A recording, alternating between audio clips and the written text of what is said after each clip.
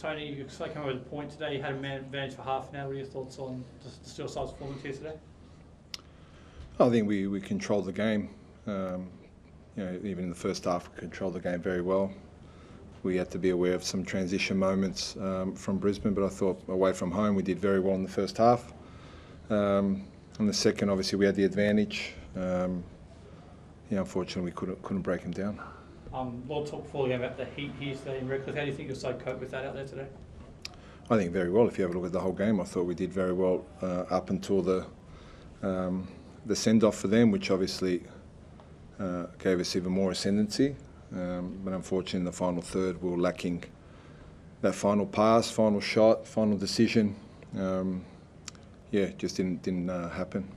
A couple of heavy cat lashes out there for Nick D'Agostino today. How's he feeling? Is he, all- he okay? I haven't seen him as yet, but um, you know he's, he's a strong boy. He's a he's a real real fighter, and you know I'm sure he'll be he'll be okay. You um, you substituted Nani in the, I think it's 77th minute. Um, Mm. Was it was that heat related or was that how, why did you do that? No, I'll just change him.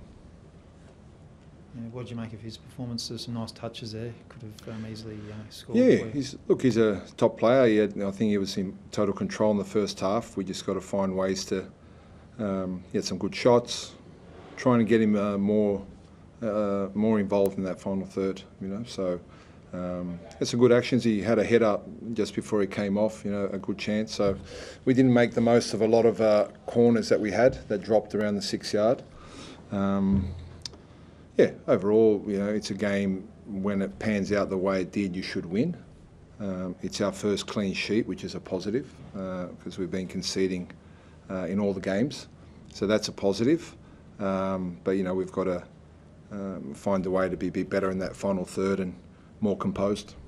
The defensive line was a big plus you take out of this in the next week to, from today's game. I think you always do. You know, I think you always do when you, you know, it's away from home. We're playing the heat, uh, difficult match. I thought from the start for an away team, I thought we controlled the game very well for the first 45 minutes.